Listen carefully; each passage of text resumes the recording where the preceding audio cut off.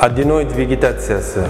Bu yosh bolalarda uchraydigan operatsiya qilinadigan lor kasalliklarini eng ko'p uchraydigan e, kasallik hisoblanadi.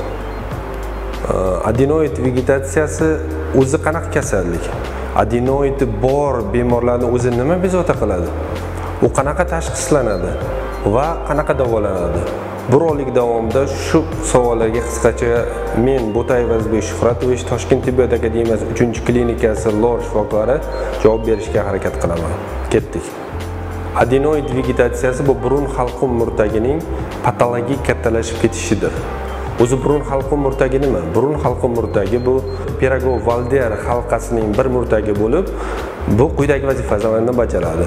Adenoid bu qon hosil bo'lishida immunitetda va himoya vazifasini bajaradi.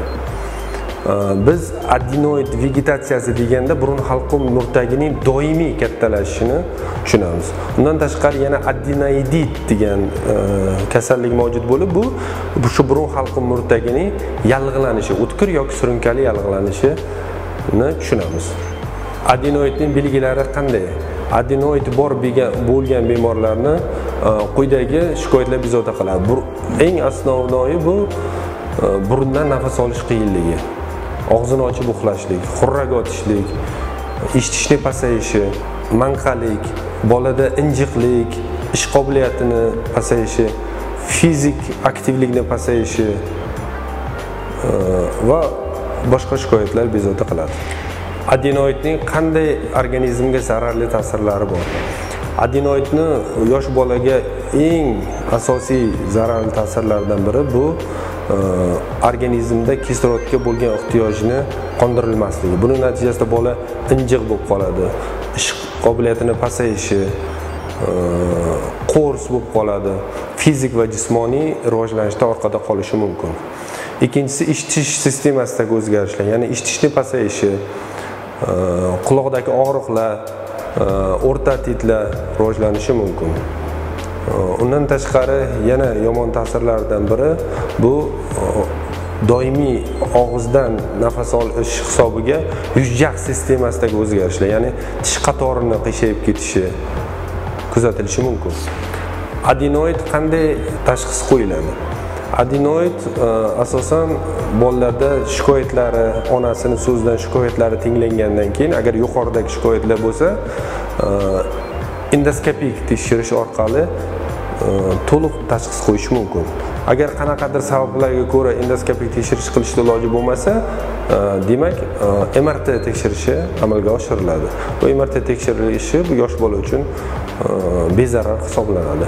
Agar adenoid bilan birga burun yondosh bo'shliqlarida patologiya e, borligi gumon qilinsa unda mskt ya'ni multispiralniy kompyuter tomografiya amalga oshirilishi mumkin. Adenoid qanday davolanadi? Adenoid asosan operatsiya yo'li bilan davolanadi. Operatsiyani nomi adenotomiya deyiladi. E, biz davoda bir narsani e, ko'rishimiz kerak adashtirib yubormasligimiz kerak. Adenoidit va adenoid vegetatsiyasi. Adenoidit bu yallig'lanish kasalligi hisoblanadi. Ya'ni bron halqum murtagini yallig'lanish kasalligi. Bu har doim konservativ yo'l bilan davolanadi. Ya'ni dori darmon bilan davolanadi. Adenoid vegetatsiyasi bu dori darmon bilan davolanib bo'lmaydi. Bu faqat operatsiya yo'li bilan davolanadi. Adenoid operatsiya ga tavsiyani faqat lor vrach ko'rgandan keyin yuqoridagi tekshirishlarni amalga oshirgandan keyingina e, tavsiya berishi mumkin. E, faqat ikkita narsaga e'tibor qilish kerak bo'ladi. Operatsiya borasida birinchisi bu operatsiyani umumiy og'riqsizlantirish asosida amalga oshirish. Bu bolani psixologik travma olishini oldini oladi. Ikkinchisi bu e, ko'z kontroli ostida operatsiya qilish. Bu burun halqum oynasi bo'ladimi? Endoskopik uskuna yordamida bo'ladimi? Albatta ko'z kontrolida adenoid to'qmasi olib tashlash kerak. E, to'liq e, nafas olishga xalaqit beradigan to'qima olib tashlanadi.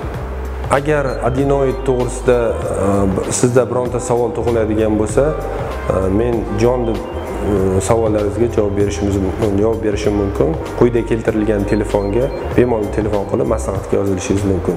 Sog' bo'ling.